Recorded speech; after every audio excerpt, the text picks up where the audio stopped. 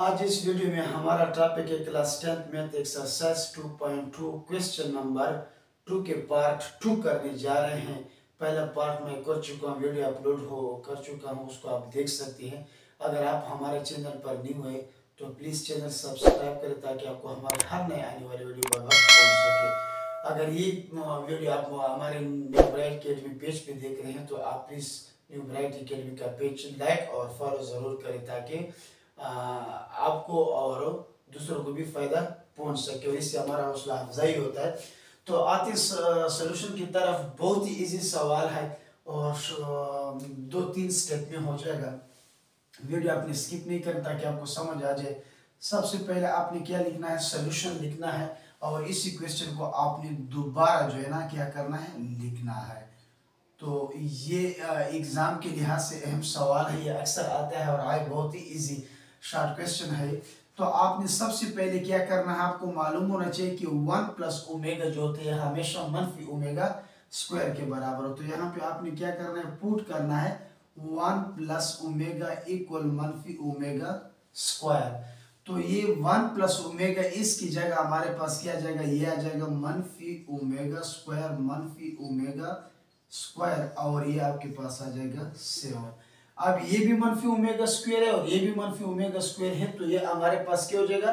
मनफी to omega square हो जाएगा। यानी मनफी टू ओमेगा स्क्वायर और ये आपके पास क्या होगा? सेवन होगा। अब ये जो सेवन है, ये एज ए होल ये दोनों पर है। ये सेवन जो है, ये इस मनफी टू पर भी है और ये सेवन इस ओमेगा स्क्वायर पे भी है। तो दोनों पे एज ए होल है तो हमने क्या करना है? यहाँ पे मैंने लिखना मनफी टू यहाँ पे भी आप ये सेवन लिखे और डाट लगा के इस ओमेगा स्क्वेयर के यहाँ पे भी ये सेवन लिखी क्योंकि ये दोनों के ऊपर एज ए होल है। अभी मनफी टू की पावर सेवन है, जो है मनफी टू को अगर हम सात टाइम मल्टीप्लाई करें तो आंसर हमारे पास वन ट्वेंटी एट आता है। ये आपके पास आ जाएगा मनफी वन ट्वेंटी एट। याद रखें कि अगर यहाँ पे माइनस हो और इसका पावर आठ हो आठ मतलब वन हो थ्री हो five seven nine eleven thirteen so on तो आपका माइनस वाला साइन कभी भी चेंज नहीं होता। साइन हमेशा इवन नंबर के साथ चेंज होता है। अगर two four six eight ten twelve fourteen so on इस तरह हो तो साइन चेंज होता है। आठ के साथ कभी भी चेंज नहीं होता। फिर इसके बाद ये क्या हो जाएगा?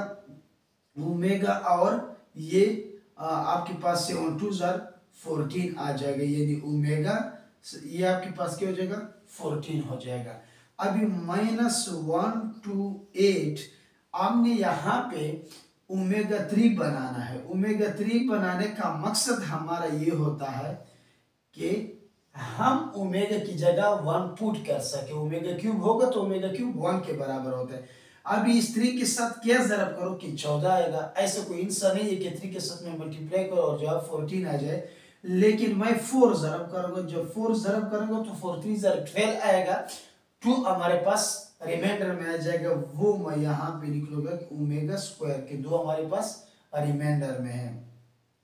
अब यहाँ पे मैं क्या लिखूँगा? पुट यहाँ पे मैं लिख लूँगा put omega cube equal one omega cube equal one जब इसमें पुट करूँगा तो ये मेरे पास सेम टू सेम इस तरह आ जाएगा। वन टू एट और ओमेगा क्यूब की जगह हमारे पास वन आ जाएगा और पावर क्या है?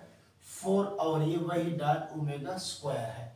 तो अब ये वन फिर वन टू एट इस तरह आ जाएगा और आपको पता है कि वन फोर टाइम में मल्टीप्लाई करूँगा तो फिर भी वही वन आ गया और वही वन इसके साथ जरब करें आपके पास ओमेगा स्क्वायर आएगा तो आ, ये आपका क्या है?